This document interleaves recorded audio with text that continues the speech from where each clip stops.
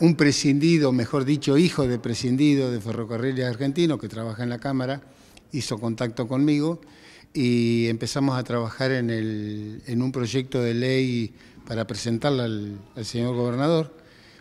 Y en el día de ayer a la mañana ya presenté, tuvimos una reunión, eh, todos de acuerdo y presenté el proyecto al gobernador. Eh, tenemos muchas esperanzas porque este proyecto es un resumen de todo lo que venimos trabajando del 2006 hasta la fecha.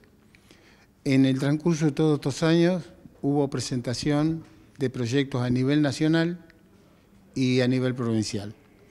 Eh, a nivel nacional llegaron hasta la Comisión de Hacienda y Presupuesto y ahí quedaron, quedaron parados.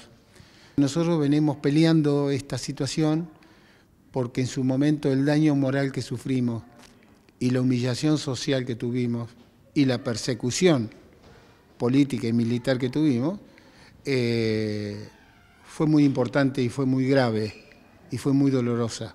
¿Cuál, es el número total de prescindidos sobre el cual, digamos, se pide eh, bueno, un resarcimiento? Eh, hay un listado de 531 compañeros, de los cuales ahí tenés muchos compañeros a nivel nacional, provincial, y municipal y de entes autárquicos de la provincia. Por lo tanto, nosotros no podemos dividir este, en los estamentos en que estaba cada uno, por lo tanto lo que pedimos es para todos los compañeros. ¿Cuáles son los puntos principales del proyecto que presentaron, al que le llevaron al, al, gobernador? ¿Te acordás que hace poco tiempo salió el decreto 407 donde el gobernador, a través de un decreto del Tribunal Oral Federal, le indica que se haga un, lavado de los legajos del personal.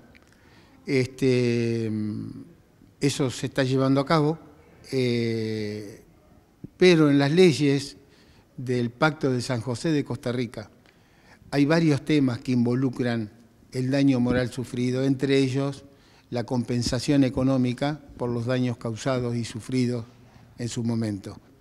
Y ten en cuenta de que del 76 al, 83 son siete años.